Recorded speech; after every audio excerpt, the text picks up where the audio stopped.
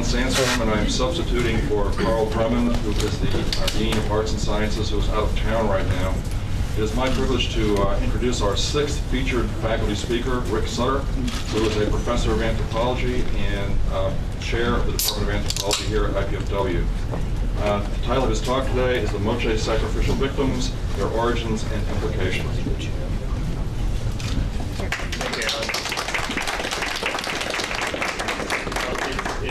It's a, uh, a thrill for me to be able to share uh, my, my research with people. I never get tired of talking about this particular topic. Um, I've probably given the talk uh, at least 10 to 15 times, but it just never gets tired for me.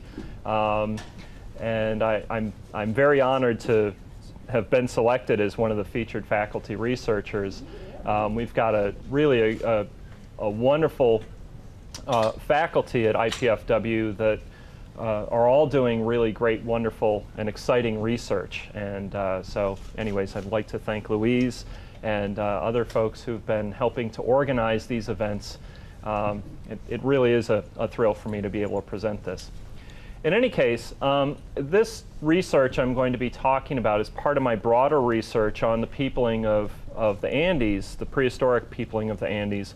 And uh, so with the, the database I've been collecting over the past 15 years or so, um, I've also been able to amass data from specific regions that have allowed me to test and look at specific questions uh, to each region within the Andes. And so this is just one of the more exciting uh, topics I've been able to explore through my research. For those of you uh, unfamiliar with the Moche, the Moche were a state level society of some sort or another uh, that was on the north coast of Peru sometime between AD 200 and 750. And uh, they were found it specifically along the coastal valleys between the Piura Valley in the north down to the Huarmey Valley in the south, or at least their cultural influence is found uh, spread throughout the region during this time period. Um, just to give you some understanding of the, the role that the environment plays on the story I'm about to tell you from my research, I think it's kind of important to set the stage and talk about the nature of the environment as well as um, how the environment also allows us to be able to say some of the, the, the things we can say about the remains that have been recovered of, of the Moche. So along the, the west coast of South America, the Andes region, uh, it actually is one of the driest desert regions in the world. And this has to do in part because of the Humboldt Current, which uh, runs counterclockwise up the west coast of South America and causes uh, weather systems to dump their rain out at sea. Um, and then as the, the weather systems move from the west to the east, they do accumulate more uh, water, but that that precipitation doesn't come down along the coast. Instead, it comes down in the highlands, uh, totally bypassing the coast. And so, what we see along the coast are these very, very dry conditions uh, where the, the river valleys are um, the only place where you find any vegetation. It's, it's complete desolate desert between uh, the coastal valleys. Um, and the only reason why you see any greenery there whatsoever is because people have, have irrigated their, their gardens and agricultural fields. Along the coast itself, in, in the northern region of Peru, there is what we'd refer to as a coastal belt. This is a relatively flat area where the Moche um, actually emerged around AD 200 and where we find evidence of their settlements and, and their very large, massive mud brick pyramids that I'll talk about. One of the other interesting things about the region that the Moche inhabited was that in terms of uh, irrigable land and agricultural productivity, uh, it is very high in the north where we also tend to have more precipitation in the highlands. Uh, there's more rainfall, the, the rivers run year round, and, and there's just generally more river discharge uh, per minute.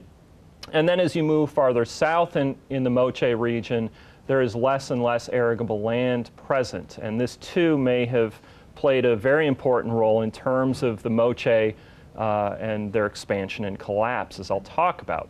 So the Moche uh, are part of, or at least were found during what we'd refer to as the early intermediate period, a period uh, between around AD 200 and AD, well, it's listed as AD 500, but we now know it actually extends a bit beyond that. Um, and the Moche were uh, a class based society, and we know this uh, not just because of their lifelike uh, depictions of people of different class and status in their ceramics, but also from their habitations, their, their houses. There are uh, large, large areas that consist of cane structures, and then you have sort of a middle class uh, where the, the housing structures are made of mud brick. Uh, but they're not quite as fancy as the, the habitations that are found associated with the mud brick pyramids. We know, uh, or at least we infer, that they were based upon tribute, as were many complex societies uh, in Peru, where uh, people had to pay part of their labor in the form of tribute to the ruling class.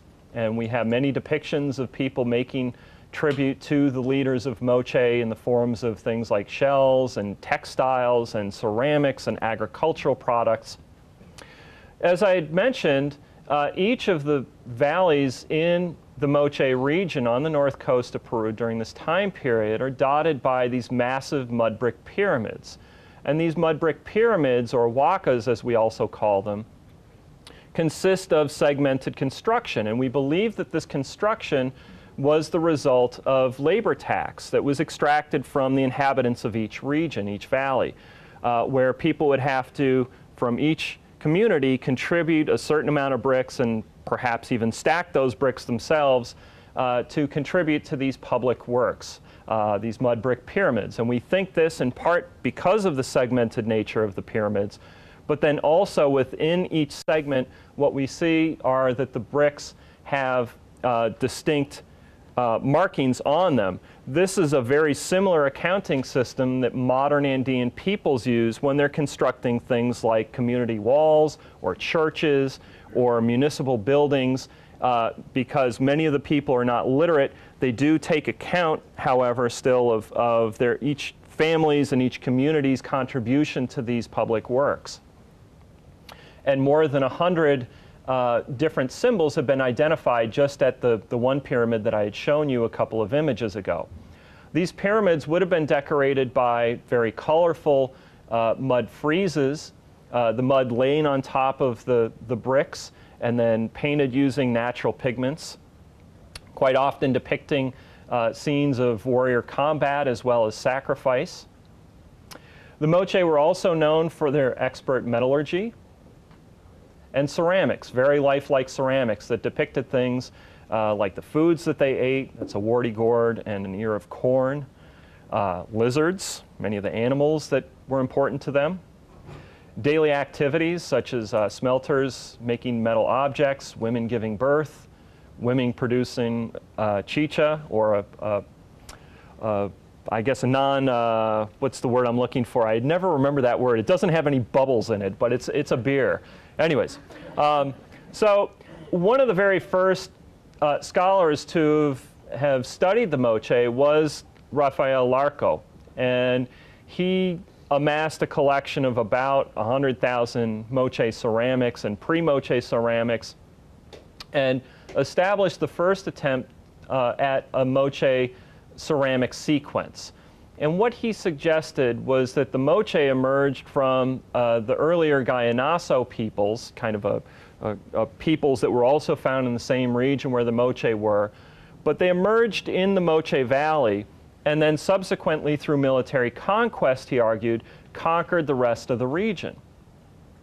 This model uh, has been challenged and some of the research of, of some of my colleagues, such, such as Izumi Shimada, Luis Jaime Castillo, and Christopher Donnan, who all have their own competing ideas, um, they've arrived at very similar conclusions about the, the emergence of the Moche. And what we now have come to understand through intensive investigations over the past four decades is that the Moche did indeed emerge in some valleys from the pre-existing Gallinazo people. And so here you see uh, late Gallinazo ceramics uh, from some of the some of the valleys and just for comparison's sake, some very early Moche ceramics. And they've revised uh, Larco's ceramic sequence. Largely it stayed intact, but we also now recognize that there was some regional variation going on here uh, that Larco didn't recognize back when he came up with his ceramic seriation back in the 1940s. So what we now understand is that the Moche did emerge in multiple valleys simultaneously uh, from Gallinazo, and in some valleys the Gallinazo we now know uh, persisted beyond AD 200.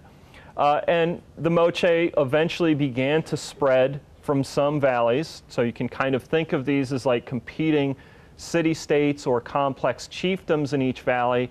And uh, over the course of the Moche's existence, almost certainly uh, what we see is alliances forming, alliances breaking down, very complex political relationships that we are trying to get at um, through both archaeological remains as well as through genetic studies. By the end, however, what we know is that the Moche, uh, beginning around AD 600, began to collapse, uh, and they were replaced by another sort of cultural entity we refer to as the Sican. Um, in, in any case, the Moche did persist in, in this northern region here uh, beyond AD 750 until about AD 900, but only at a, at a handful of select sites. Um, what we also now recognize in terms of regional variation is that there was sort of a northern sphere of Moche influence as well as a southern sphere of Moche influence. And what we believe was going on during the periods of Moche 3 and 4 is that there was consolidation amongst uh, sort of like confederations of Moche city-states or complex chiefdoms so that you had a no man's land between the northern Moche realm of influence and the southern Moche realm of influence. And there are actually differences in terms of the cultural tra trajectories that the Moche in each of these two different regions uh, followed. And so what I'm going to be talking about primarily are, are the Moche in the southern sphere of influence. And uh, if I can just kind of emphasize this, there are cultural distinctions in terms of their ceramics and their iconography in the northern sphere versus the southern sphere. And this is one of the reasons why we make this, this inference. So in the southern sphere, uh, one of the things that we don't see in the northern sphere in the southern, that we do see in the southern sphere are these Moche portrait vessels. By portrait vessels, what we mean is these are ves vessels that are basically portraits of, of individuals that we think were indeed actually real individuals. And these individuals are depicted uh, lots of very distinct facial characteristics. Sometimes we see things like scars on the faces, and these individuals are depicted during different stages and different roles uh, at different stages of their life. And so this is one in particular that my colleague Christopher Donnan has focused on. Uh, somebody he refers to as Bigote because of his mustache and, and funky tuft of hair on the, on the top of his head. And he is depicted as a, an elite individual, um, in part because of the very fancy ear rings that he has. Um, this is something we know from our studies of Andean peoples that ear spools and earrings were associated with very high status. But also he's, his high status is denoted by the staff or the mace that he's carrying. Something also that we see associated with elite individuals in the ethnohistoric and historic record uh, in, in the Andes. But then he's also depicted as a naked bound prisoner with his hands tied behind his back. And there are other individuals who are depicted in the same fashion. So this is Narigon or Big Nose, who's also depicted uh, as a relatively elite individual in some portraits, but in others as a, as a naked bound prisoner um, and yeah, you can see there even holding his neck. Uh, obviously not a very pleasant position to be in. Moche portraits also often depict things like combat between uh, what appear to be Moche, prisoner capture, their torture with uh, the, the face flayed. I always like pointing that out, and I'll bring that up again in a few minutes and sacrifice, beheading and sacrifice. Very common themes we see in these portraits. The Moche in the South also developed uh, a whole repertoire of fine line vessels uh, during Moche III, beginning around AD 300. Um, and most of these fine line vessels depict things like combat. So this is, just to give you some sense of the way that these look, this is a Moche fine line vessel. And uh, my colleague Christopher Donnan, as well as uh, the late uh, Donna McClelland, painstakingly documented more than 40,000 of these fine line vessels, drawing out the images that are found on these vessels so that you can roll them out and actually see what's going on. And so here we see one of these melees or all out uh, combats between what appear to be um, Moche warriors going at it with one another. The Moche uh, fine line vessels also depict, much as the portraits did, uh, uh, capture of prisoners.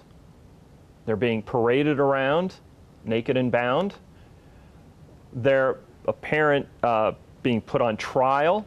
Here you can see actually the, the bundles of these two naked bound prisoners, the, the shields, their maces, their helmets, their dart throwers. Their subsequent torture, and Subsequently, they're being led in processions to be sacrificed. So what you see going on back here is a prisoner who has his hands tied behind his back, his head is being drawn back, uh, and this, this attendant here has a, a, a, cup in his hand. This one has a tumi or a sacrificial knife, and he's about to slit the throat of this individual.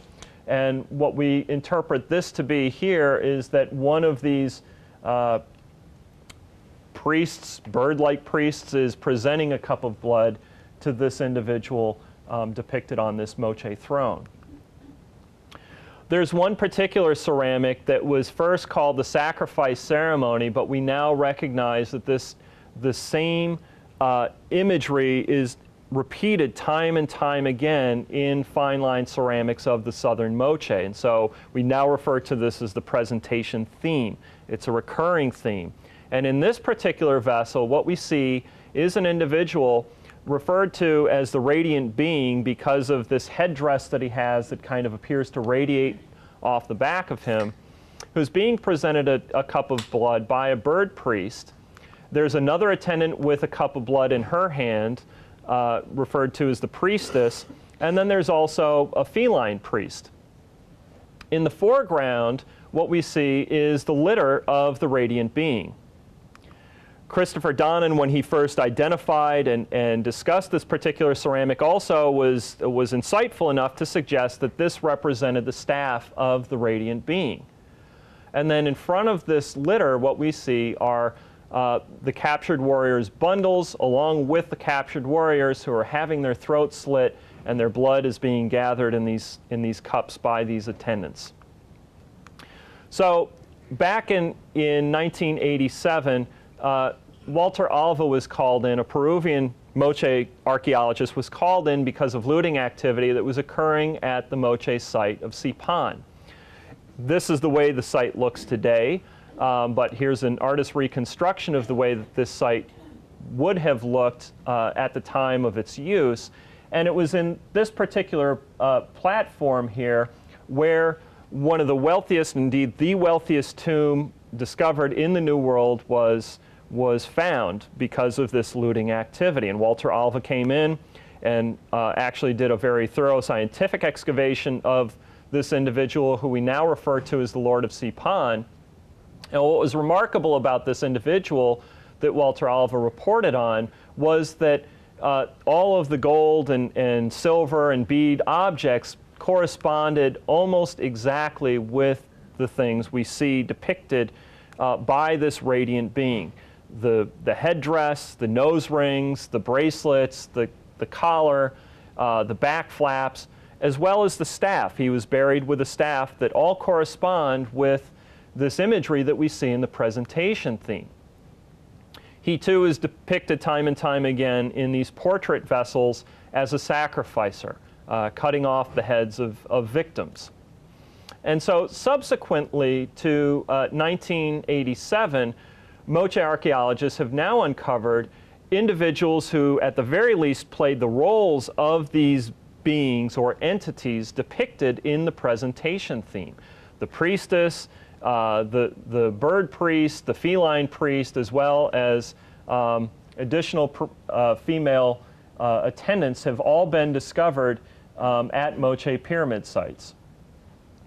So just a artist depiction of the way these individuals might have looked once they were, you know, back in the past. So, in the South, we also have very strong evidence that there was an alliance amongst some of the sites found in the southern Moche uh, valleys. In particular, in the Chicama Valley, we have a site by the, not, by the name of Cao Viejo, uh, and it exhibits some characteristics that are somewhat unique to the Moche sites in the southern sphere of influence.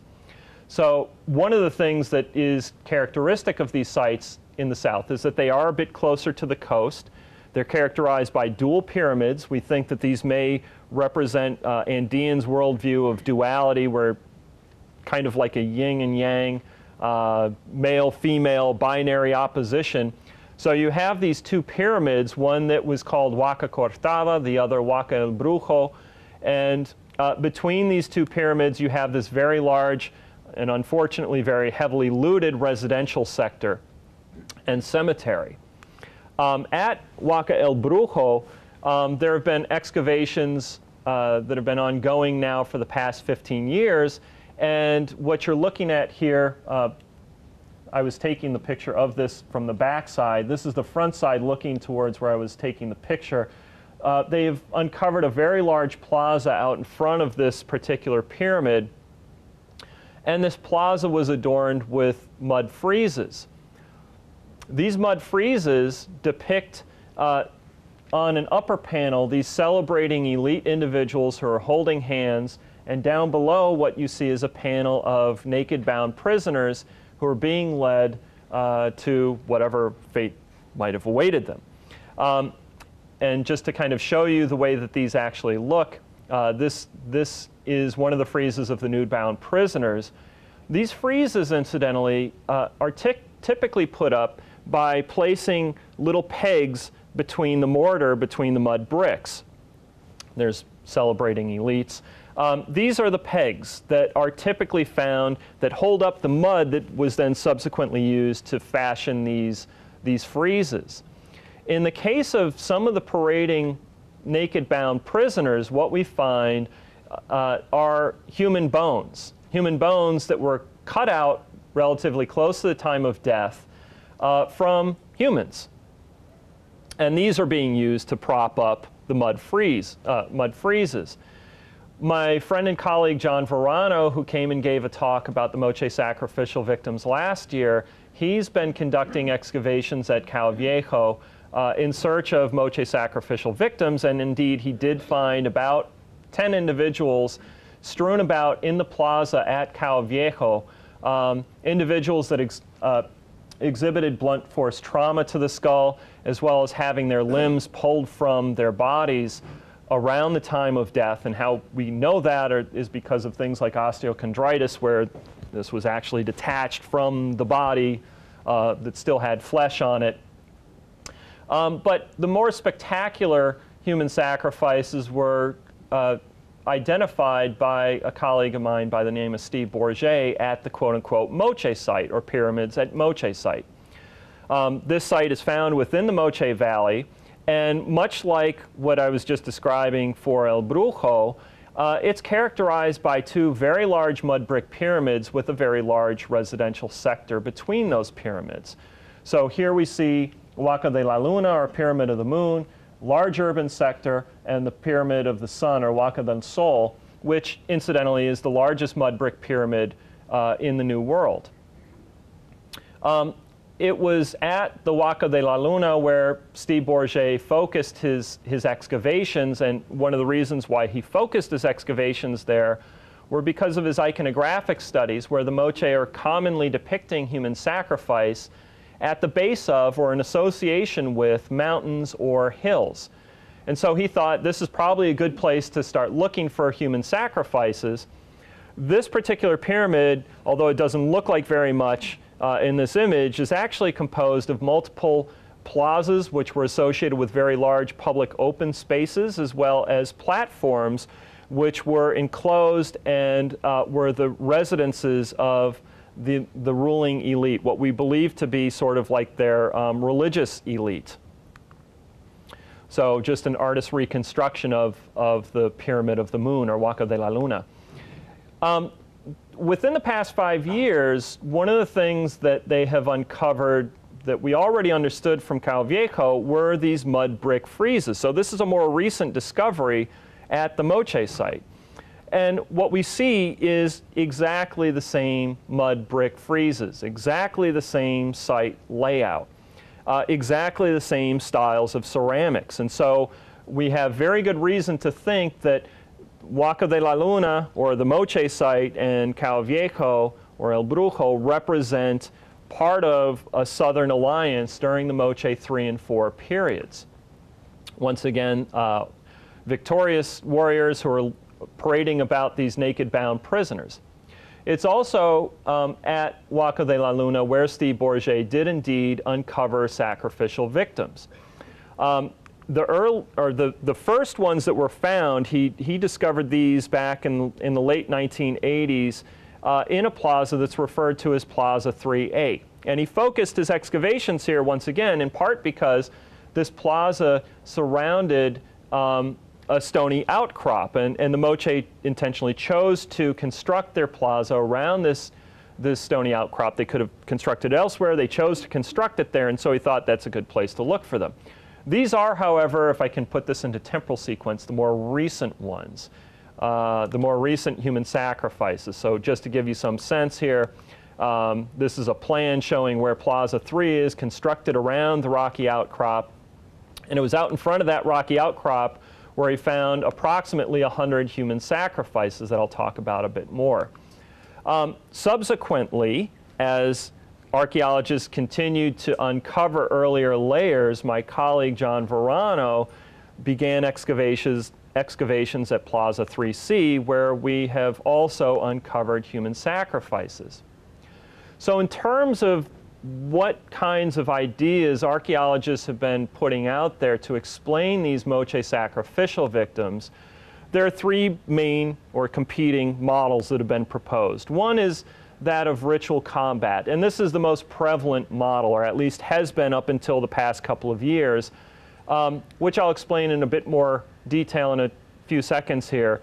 Uh, but another competing model, which um, would I guess you could say date back to Rafael Larco, would be that of territorial expansion. These human sacrifices, rather than combatants in a ritual kind of battle where the, the loser would then be sacrificed, actually represent prisoners of war that were captured as the Moche began to expand. Another model is a warfare model amongst competing Moche polities. Um, that being where you've got what culturally appear to us to be the same folks doing battle with one another, uh, somewhat analogous to what we think may have been going on in certain places during certain times in the Maya region in Central America. So the Tinku model is largely based upon these representations of Moche, what appear to be Moche, doing battle one-on-one -on -one with other Moche. And ethnographically or ethnohistorically, what we know is that there are still these ritual, uh, ritual battles referred to as tinkus in the Andes, where you get communities in the highlands that will square off with one another, adjacent communities, and what they will do is they will go to battle with one another prior to the planting season in hopes of spilling some blood to Pachamama or Mother Earth uh, to ensure the fertility of their crops. Um, and there's all kinds of other things associated with this, but I, I won't go into that. Um, but in, in any case, in other regions of the Andes, uh, this in, in larger communities, this um, tinku plays out instead as individuals of the same size, of the same sex, and of roughly the same age, squaring off in the town square and beating one another into a pulp. Um, and it's never really a good party until somebody's blood gets spilled or somebody dies. Now, in the case of these tinkus, uh, the person who has unfortuitously, you know, from the perspective of the family, given up their life to ensure the crops and ensure the, the livelihood of the community is accorded a formal burial. It's a very solemn event, but the person is uh, treated with respect, and indeed the community will often, uh, other members of the community will often pay tribute to that individual who's kind of, who's kind of uh, foregone their life for their benefit.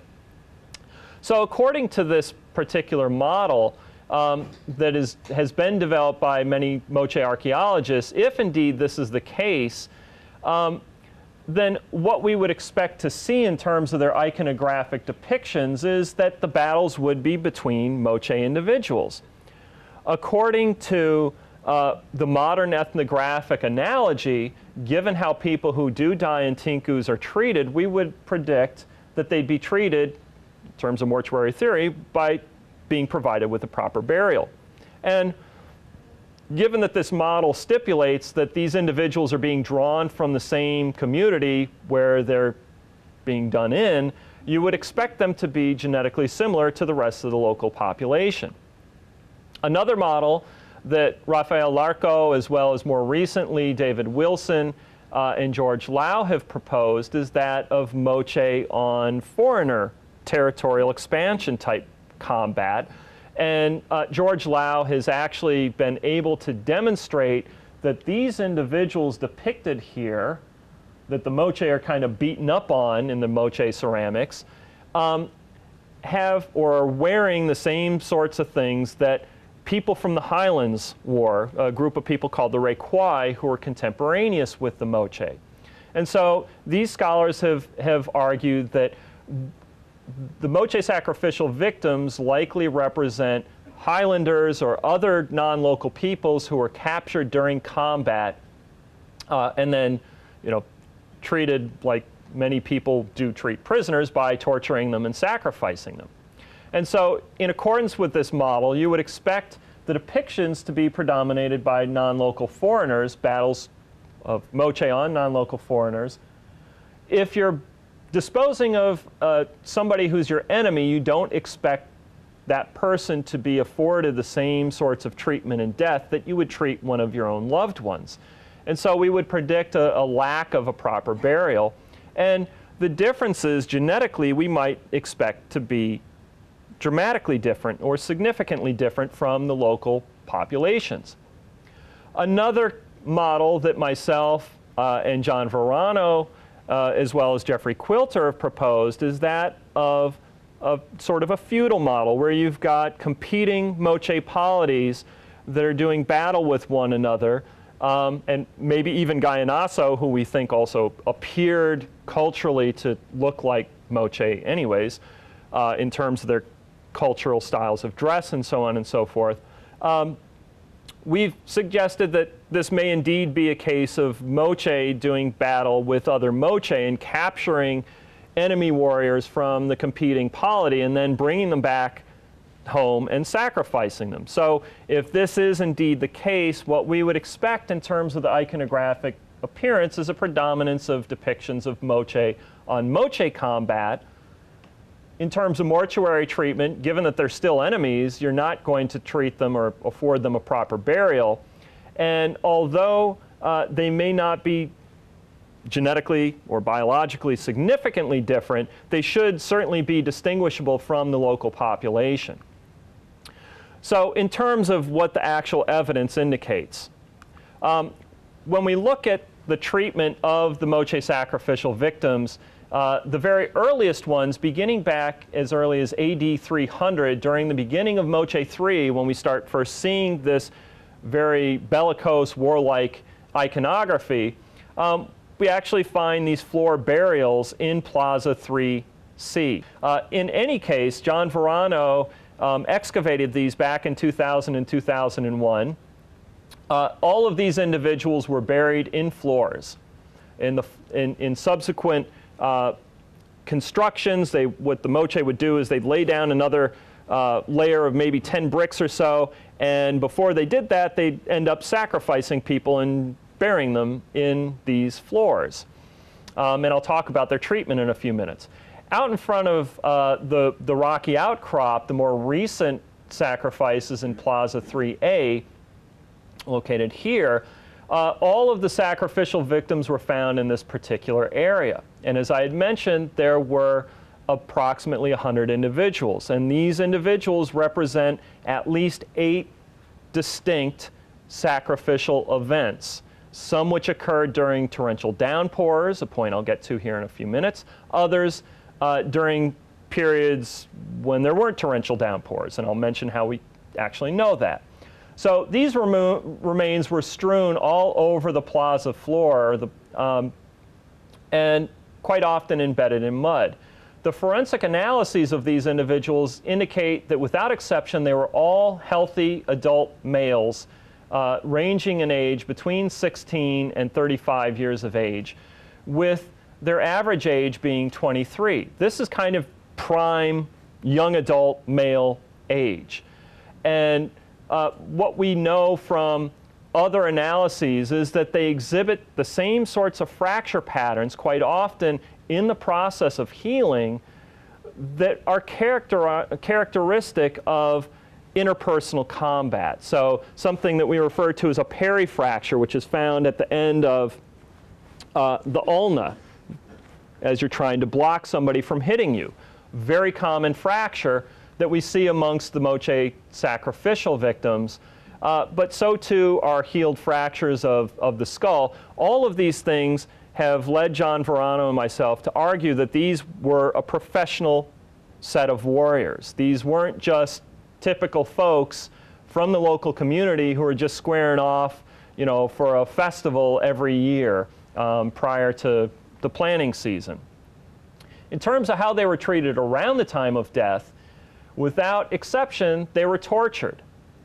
We have evidence of their noses being broken, uh, tongues being cut out, and jaws bashed in. Uh, they're being dismembered and we actually have really great evidence of this. Uh, the bodies are strewn all over the place. Uh, and while certainly one could suggest, well, maybe vultures got in there and dragged some of the bones, um, they don't drag off entire limbs. Uh, further, for some of them, we still have the cordage uh, around the ankles and the wrists. Um, this one I, I like. There were cut marks around the face, almost in exact accordance with these Moche portraits that are depicting the face being flayed. Here's yet another, still has a blindfold on, uh, as well as his hair. In terms of the manner of death, uh, most of them for which we could identify the cervical vertebrae, the neck vertebrae, they showed cut marks, multiple cut marks across the front of those vertebrae, cutting through the carotid artery and the jugular vein. Lots and lots of blood. Wonderfully gory stuff. Um, also, uh, many of them had their heads bashed in.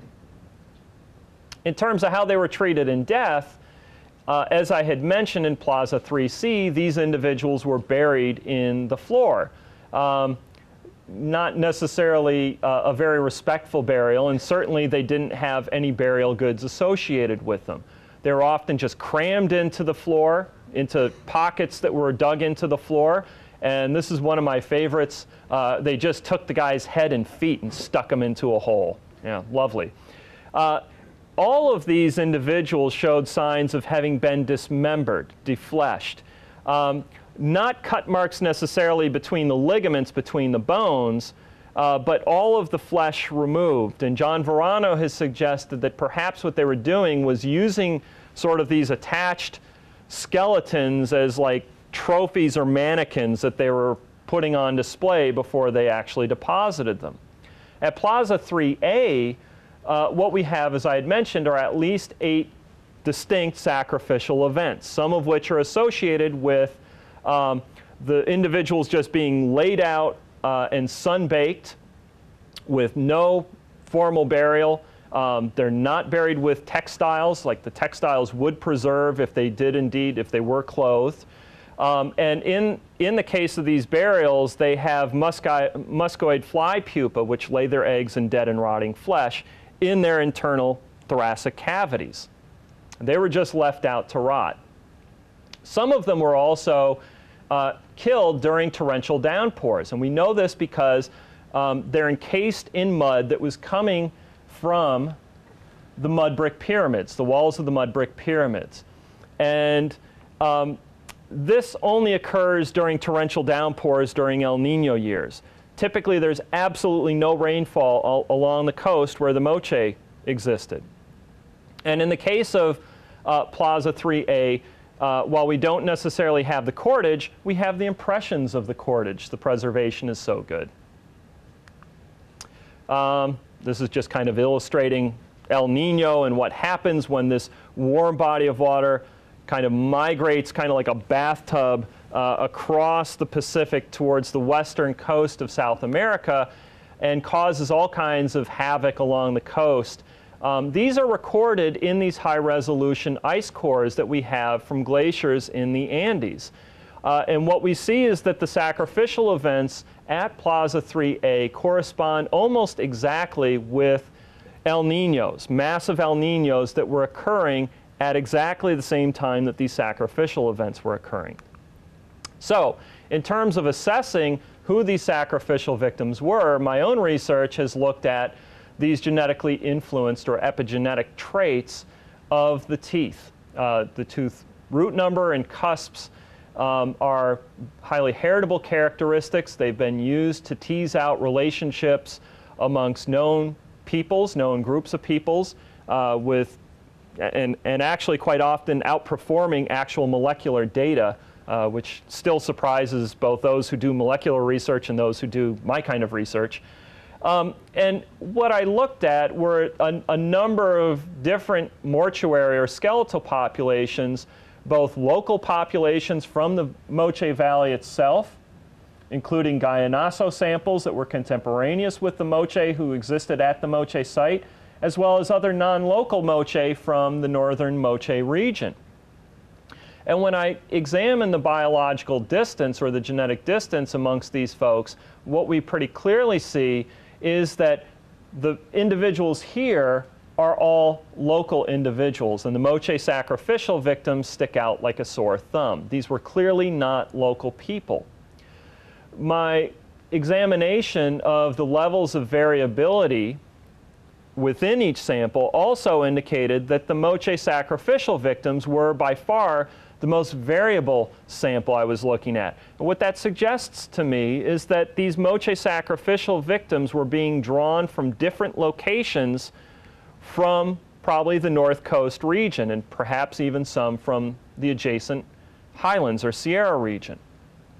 More, more recently, uh, a friend and colleague of mine, uh, oh, and I'm sorry, I'm getting this out of sequence, but I, I, tested these different models that I was discussing previously, the, the Tinku or the ritual battle model uh, versus a, a non-local warrior model um, against uh, hypothetical matrices, what we would expect in terms of their genetic differences from the local population.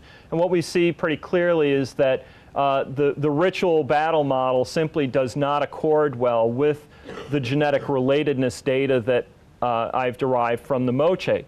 Um, a colleague of mine by the name of Marla Toyne has recently analyzed, not yet published, but recently analyzed the strontium and oxygen isotopes from the teeth and the bones and this allows you to kind of tease out where a person was raised in terms of their diet. And what she's found is that the Moche sacrificial victims, not a single one of them was from the local population, which I'm always glad to hear because that kind of confirms what I've been saying for years about the Moche sacrificial victims.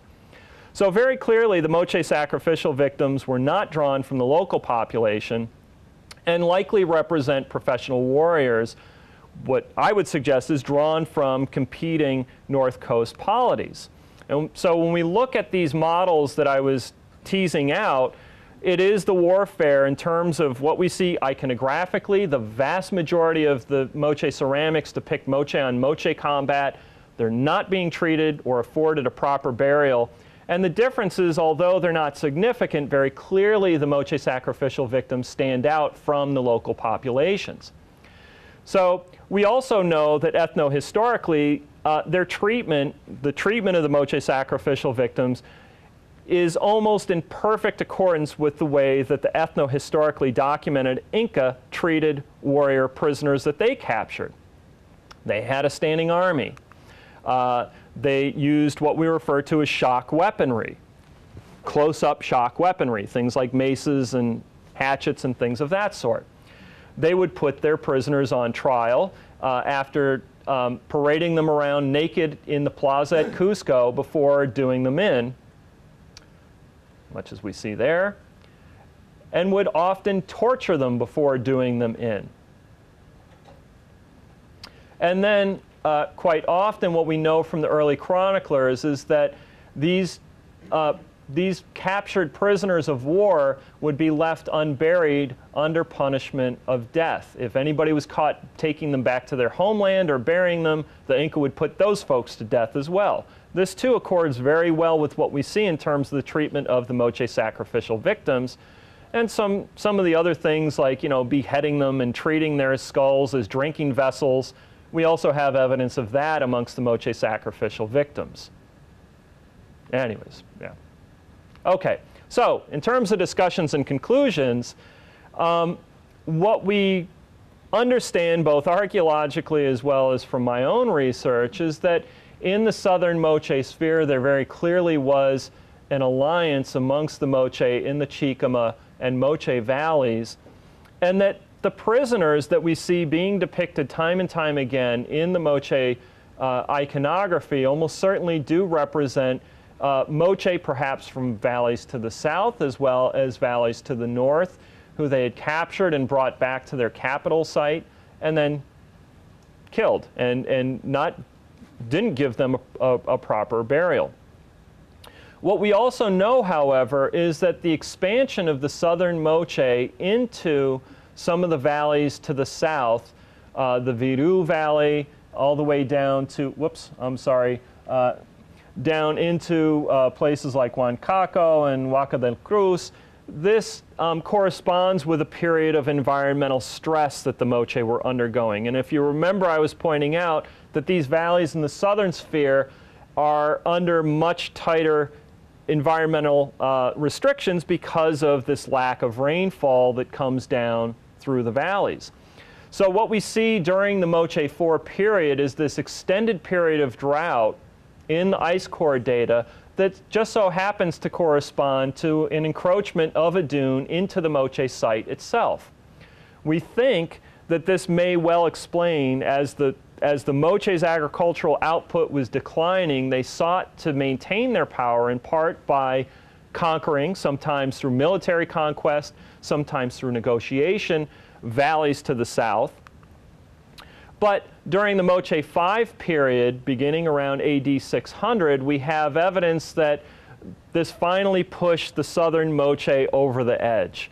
Um, during this period, we see the collapse of the Moche in the southern sphere, and this corresponds very closely with these massive El Nino events that they uh, were hit with repeatedly following this extended period of drought, beginning around AD 600. And if you're not at all familiar with what El Nino events do in Peru, in the coast of Peru, they completely silt over the agricultural fields. So they were already having declined agricultural output, and with these El Ninos completely silting over their agricultural fields, it rendered them useless, at least for years uh, during which they'd need to reclaim those fields. What we also see uh, in the southern sphere of Moche influence is that a new site appears inland from the Moche site itself. This is where the Moche site is located. There's another site that shows very strong affiliation with the Moche sphere in the north. We get this style of ceramics that appears, and the site is enclosed uh, with the wall facing towards the Moche site, and there's piles of sling stones found all over this site as you get this evidence of a Moche intrusion from the north. In the northern sphere, what we see during the same period of climatic change is that the Moche in the northern sphere moved their sites inland closer to the uptakes of water. And along this no man's land, they actually construct fortifications all along their southern border, suggesting that there was indeed conflict with the Moche in the south. Eventually, the Moche in the south simply succumbed. They, the people became a different set of folks, the Sican, uh, and we see evidence of an influence of highlanders coming into the valley in the southern Moche region. So what all this research can kind of also help us to do is reinterpret some of the Moche ceramics that, in my opinion, have been misinterpreted for decades. Things like this, which my colleague uh, uh, Christopher Donnan and my, my colleague Steve Bourget have suggested would be analogous to depictions of Christ on the cross, um, sort of honorable depictions of people. I would suggest instead these were probably being used as forms of propaganda showing what happens to those who might try to resist the Moche's attempts at conquering them. Uh, and in terms of the Moche on Moche depictions of combat, I would suggest that probably these are best interpreted as competing Moche. Moche from competing complex chiefdoms or polities that were going at it with one another. And these ceramics certainly are depicting combat, one-on-one combat, but that this one-on-one combat was not ritual. It was all very, very real. Um, we see very similar kinds of iconographic depictions in places like Central America amongst the Maya, where this is a very highly encoded form of communication, where you have symbolically one leader taking over the leader of another Mayan capital site. So I would suggest that all of this iconography is just very laden with symbolism that uh, unfortunately, I think, has been overinterpreted by many of the iconographers, many of the Moche iconographers. Scenes like this certainly don't speak to me uh, of individuals who simply lost a, a, a, weekend battle prior to the planning season. This is an entire set of warriors who've been captured and who are being led to their final fate. And in terms of what we can make of something like uh, the presentation or sacrifice theme, one of the early indigenous chroniclers by the name of Huaman Poma de Ayala explains to us that warriors would often take on the names or the, the characteristics of winds and creatures, birds of prey, uh, crabs, and things of that sort that are perceived of as being very fierce powers in nature, and would dress up in, the, in that style. Uh, so what many of us are now suggesting is that these individuals depicted in the sacrifice theme uh, represent warriors who took on, um, took on the persona of things from nature and that those were probably passed on from generation to generation amongst their sons. So I guess at the end of the day, we can all say we can be glad we're not Moche sacrificial victims. Anyways, that's it.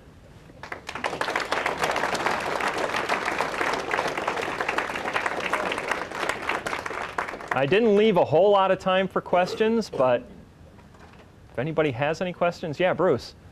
I, I was uh, kind of watching that gap in the in the range that showed up periodically, and it wasn't until, if you know what I mean, where you had the north yes, and the, the south. Uh-huh. and I'm wondering uh, if it were if it was a no man's land or if it was just a, a, a bad area to be. Uh, but then you at the end you were talking about fortifications and that sort of thing. So what what was going on in in that gap? It is a it is a large expanse. Um, it's a relatively flat pampa area um, that extends between irrigated valleys that currently you can irrigate and occupy. I mean, people uh, in that region, they during the during the Moche's um, existence, they actually reclaimed a lot more agricultural land than what's currently in use today. So it's not that they couldn't have occupied that area, and they, they even have um, between the Chicama Valley and the Moche Valley, the Moche constructed this, this canal that carried water from one valley to the next. So they were, they were actually very expert in terms of their hydrology. So it wasn't a matter of not being able to reclaim that land if they chose to. And subsequent to the Moche's collapse, we actually do have um, subsequent Sican and Moche occupation of that area. So this was an area that had absolutely no Moche occupation, and we do see these very clear cultural distinctions on either side of that no man's land that does suggest this was recognized as like a demilitarized zone of some sort. Yeah, Louise. Um, it seemed like all of the ceramics had a circular extension on them and then a handle on top of that. Stirrup What spout was- vessels, yeah. Yeah, what was the significance or purpose of that? Um, some of the stirrup spout vessels actually have whistles built into them. Not necessarily the ones I showed here, but this is a style that um, actually emerged, oh goodness, uh, about a thousand years earlier amongst the Chavin people. And the exact significance we don't know, but it is kind of easy to carry them around. Um, there have been hypotheses about that stirrup spout vessel form perhaps uh, preventing the liquids from evaporating off because it is very dry in the region. So this too may have had something to do with the vessel form itself. Oh, so these were functional vessels. Oh yes, yes, these were functional vessels. Some of them that I didn't have the time to talk about. I used to get to talk about them when I had less to say. Uh, they actually have remnants of chicha, dregs of chicha beer in them. Others have dregs of human blood in them. Yeah. Positively confirmed. Yeah, Kip. Just quick question. I was curious about the availability of wood in this area and if that um, factors into, I mean, obviously they're nice symbolic reasons that human skeletal material were used to kind of anchor architectural sculpture, but would it have been kind of a necessity to some point of view just because there wouldn't have been wood available because it was so dry? I don't think so, in part because the tombs that they were building uh, have these really big, massive trunks and planks holding them up. I mean, there, there are large trees still being used, very large trees, and um, certainly you might be familiar with this. As, as people begin to exhaust wood in their environment, what you start to see is a decrease in terms of the diameter of the wood available. And given the kinds of wood that was still being used in the tomb construction of the elites, even towards the end of the Moche, we know that there were still very old trees that were being, being cut down. Yeah, Mark. I was wondering if you had any um, skeletal data from non-Moche tribes that could address the first hypothesis. So Whether or not they're coming from the highlands, that is a question, and the problem is that there are skeletal remains that are at some of the museums in Peru, but they're not well provenienced. So we know they kind of come from that valley, but we don't know the time period that they come from. And so all the samples that I've used have very good chronological control on them. Um, now, the research that's being done by Marla Toyne, uh, the one who's looking at the stable isotope analysis, um, even though she hasn't officially reported this, she might be when she comes here uh, in February to give a talk um, at the Midwest Andean Conference that I'm hosting, plugging my conference. Uh, she, she has told me that it appears as though some of them are coming from the highlands. And you can distinguish that in part because of the oxygen 18 isotopes indicating the, the altitude that, that, that they were coming from.